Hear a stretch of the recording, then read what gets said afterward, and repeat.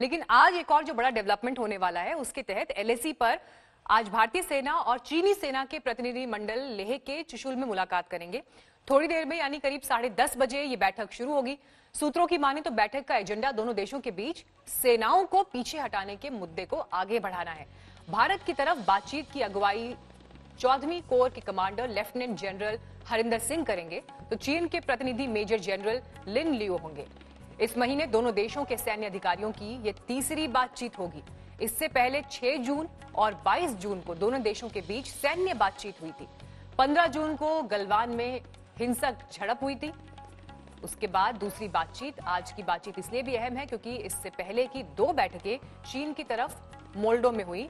वहीं आज की बैठक भारतीय ज़मीन चुशुल पर होगी। गौरव सावंत इस वक्त मौजूद है हमारे साथ। गौरव, आपने सीधे लद्दाख से ग्राउंड पर परिस्थितियाँ देखी, लेकिन अब आज की जो बैठक है, जो कुछ ही देर में शुरू भी होने वाली है, क्या उम्मीदें इस बैठक से हम लगा सकते हैं?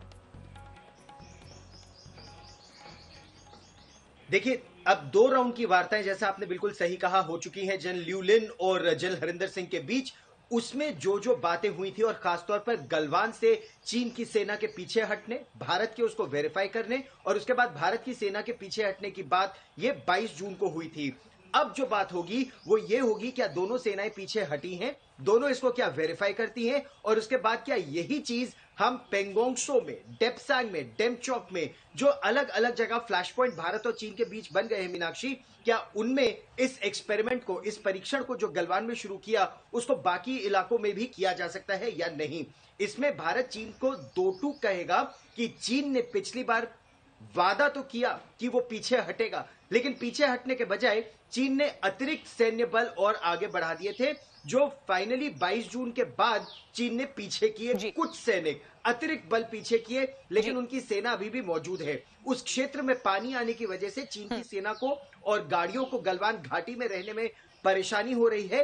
तो क्या वो बहाना बनाते हुए चीन ये दिखावा करेगा कि वो पीछे हट रहा है लेकिन बाकी इलाकों में बना रहेगा? ऐसे कई मुद्दे हैं। भारत ये दो चूक चीन से कह चुका है कि अप्रैल की स्थिति मीनाक्षी एक बार फिर लागू करना ज़रूरी है। यानी चीन को फिंगर एट से पीछे जाना ज़रूरी है तभी यह बातचीत आगे बढ़ेगी। क्या चीन ये मानता है अभी?